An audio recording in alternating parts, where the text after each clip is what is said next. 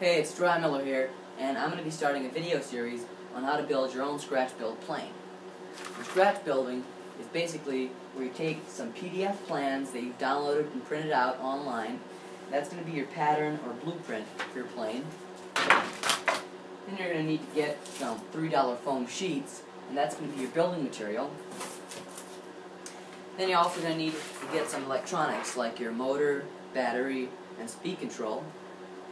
And all you do is trace around the plans, cut out your foam pieces, and glue your plane together. Now obviously there's a few more steps involved in that, and that's what I'm going to be covering in this video series. I'm going to cover everything from how to download and print out your plans, all the way to flying your plane for the first time after we're done with the entire build. But in this video, I'm just going to be covering the electronics, hardware, and building material you're going to need to get started.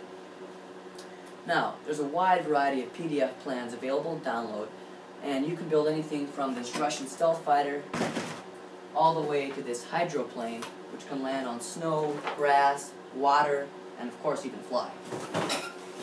But I wanted to choose a plane that's great for beginners, easy to build and fly, because this video is aimed for all the people out there who haven't built their first plane yet and want to get into scratch building. So I chose a plane designed by RC Powers, and I'll post a link below the video to rcpowers.com, which by the way are the people that designed this plane and the hydroplane. And they also have a, a large variety of planes besides these planes there, and the plane I chose was the F-22 version 2 because it's probably their most popular and stable plane that they have available.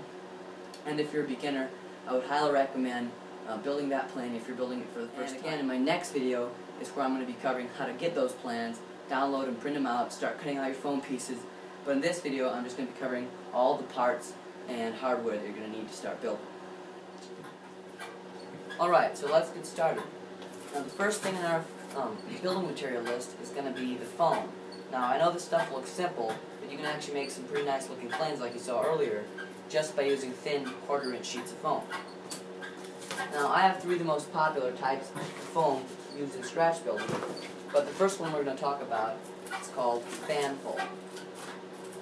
Now it's called fanfold because the way it folds out like a fan and it basically unfolds into a giant sheet of foam and is normally used as you know, insulation foam. So any place that sells insulation foam should have some type of fanfold. Now fanfold is made by a variety of brands and comes in a variety of colors and there's virtually no difference between them except you want to make sure that you get the stuff that's a quarter inch thick and that should work for most of your PDF plan planes that you're going to be downloading in the future. Um, and it's about $3 a sheet on average. Um, and it comes as one bundle. And so you're going to have to cut out the individual sheets once you start building your plane. And like I said, it comes in a variety of colors. I think you can get it in blue, white, pink, and green like I have here, and maybe a few other colors. So if you're a beginner, I would recommend using fan fold for your first plane because it's cheap and it's also more durable than some other types of foam. Okay, now I'm going to be talking about what's known as Dollar Tree foam board.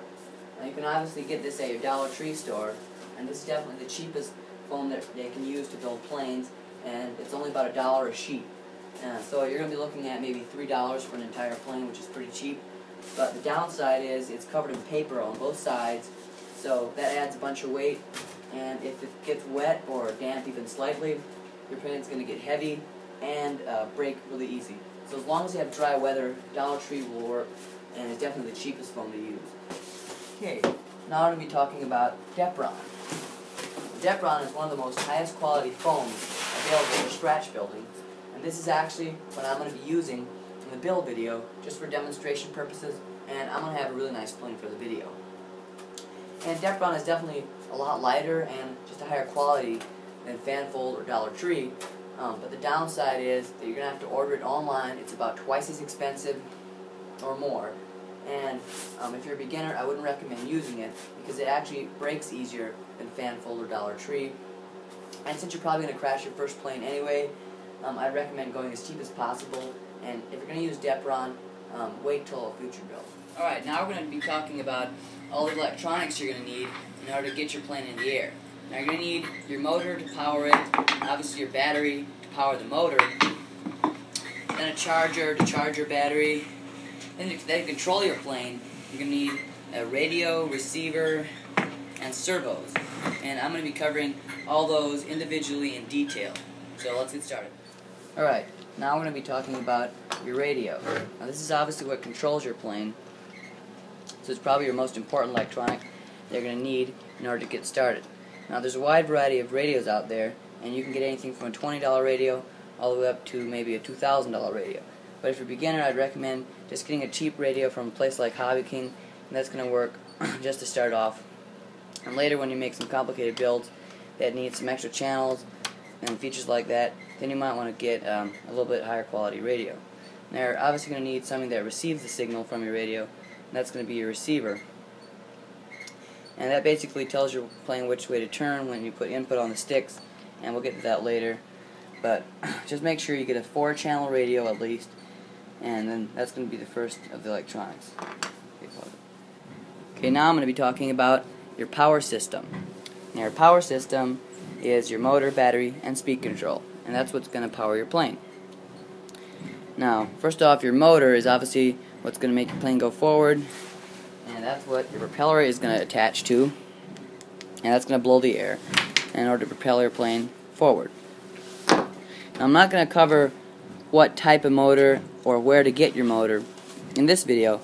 Um, I'm just so because if you want to get information on all that, you're gonna have to go to rcpowers.com, and they have tons of information um, on where to get your motors, what type of motors, and all that. And I'm not gonna be covering um, all that in my build videos. I'm just gonna be covering all the all the electronics that you're gonna have to get. Okay, now your battery. Your battery is obviously what powers your motor and and all the um, other electronics that you're gonna have on your plane.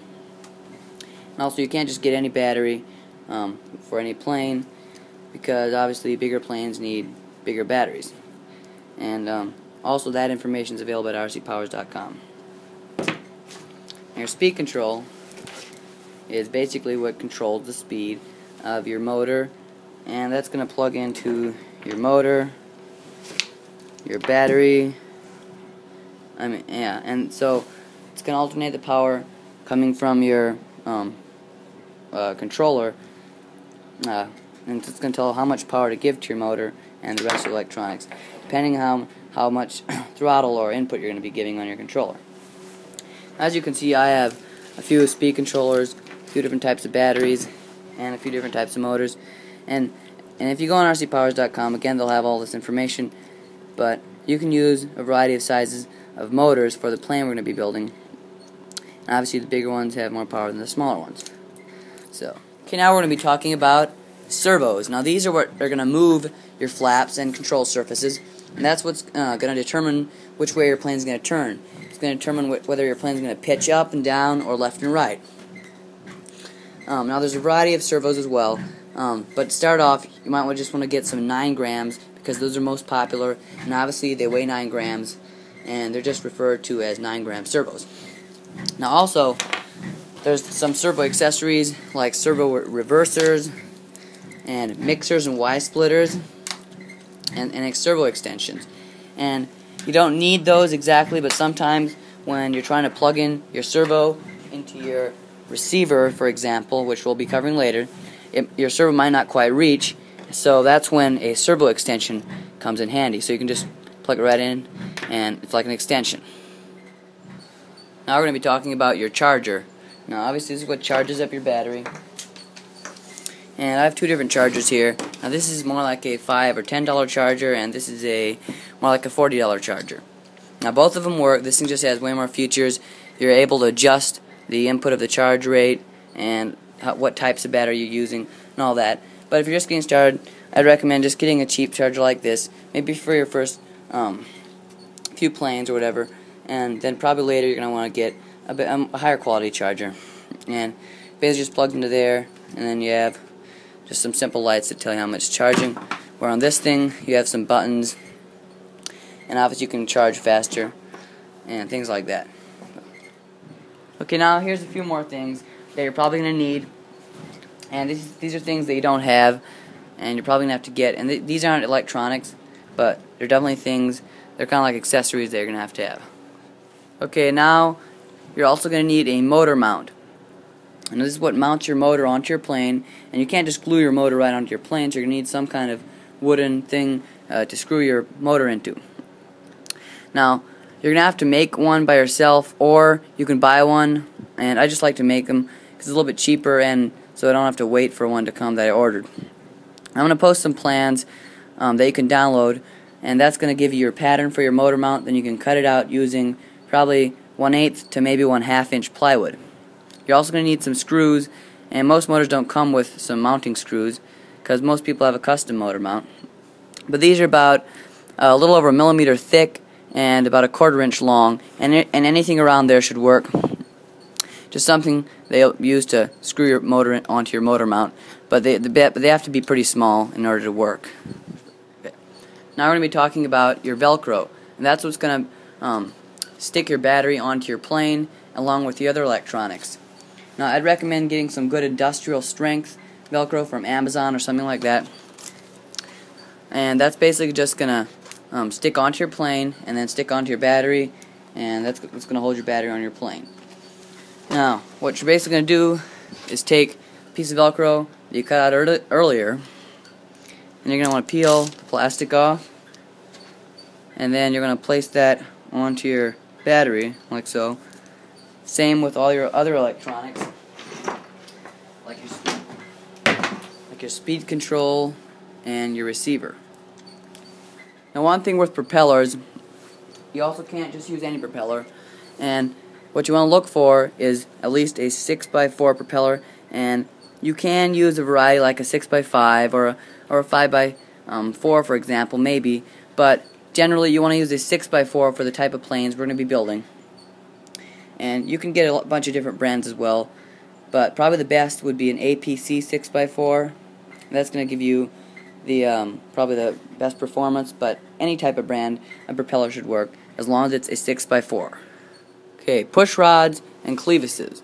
Now, these things are what are going to attach onto your servos, to your servo arms. That's what's going to control your plane and tell it which way to go. And we're going to get to that, and I'm going to show you how to do that later. Um, but basically, you're going to have to get a few of these and obviously, you can find out where to get these on rcpowers.com again. And, and most push rods come with a clevis. That's the thing ba that basically clips on to your control surface, which we're going to show you later. And if it doesn't come with one, you're going to have to get them separately. Just make sure they're the right size to fit your push rod. Okay, now this is also a very important thing. And these are your carbon fiber tubes. A carbon fiber is basically what you're going to install in the wing or tail of your plane and that's going to give your wing some strength because just foam in itself tends to bend and flex a lot when you're flying. And you're going to need some 3 millimeter carbon tubes in order to strengthen your wings up. And, and again that's going to be available on rcpowers.com and as you can see it's hollow in the middle and it's probably about 2 feet long. And you're going to need to get some carbon fiber. Okay, now we're going to be talking about the hardware that you're going to need to put your plane together. And you probably um, already have most of the things listed here, but I'm just going to go over them really fast and show them uh, one by one. Now, the first thing is your glue, and that's what you're going to use to glue your plane together. And the most popular is hot glue because it's cheap and it dries really fast. And if you're a beginner, I'd recommend just using hot glue to, for your entire build. Now you can also use 5 minute epoxy and epoxy is actually lighter and stronger than hot glue, but it's more expensive and it's harder to deal with. So if you're a beginner, just use um, hot glue to start with. Okay, you're going to need some type of knife. Now this is what you're going to use to cut out all your foam parts um, in our later video. and you can't just use any knife like a kitchen knife or a pocket knife. You're going to have to use something like a utility knife or a X-Acto knife, and any of those should work. Okay, you're going to need um, a small Phillips screwdriver and probably just one screwdriver for all your um, basic uh, things that you're going to be doing while you're building your plane is all you need. Um, and I, as you can see, I have a variety of screwdrivers here. They're all Phillips and they're all pretty small. And most of these actually, and basically all these actually work for a lot for things like screwing your motor in and installing control rods and control horns onto your servos. So Um, as long as it's about maybe a millimeter wide, the head of the screwdriver, then it should work. You're also going to need a pair of wire cutters and needle nose pliers. And we won't be using this to one of my later videos, but you want might want to get them right now, so you just just you have them and um, available for use. Okay, you're gonna need some basic household thumbtacks. That's going to use to um, tack your um, plans onto your foam, and that's we're going to be covering that as well in the next video. And you're also going to need a basic pen to trace around your plans. You're going to need a ruler or at best a yardstick.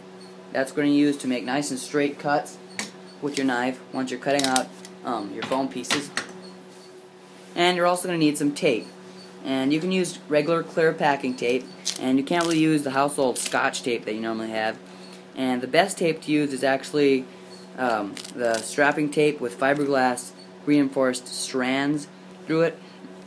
And that works good for making control surfaces, hinges, and just for generally taping your plane together when a glue joint doesn't hold good. Okay, last but not least is rare earth magnets. Now, you're going to need some really tiny rare earth magnets, and that's what we're going to be using to hold your battery hatches closed on your plane while you're flying. Now, you can probably find this, these at your craft store, or at a hobby site online, or someplace like Amazon. Now, they're basically just tiny little magnets, um, and they, they're pretty strong just because they're rare earth, and you'll definitely need some of these.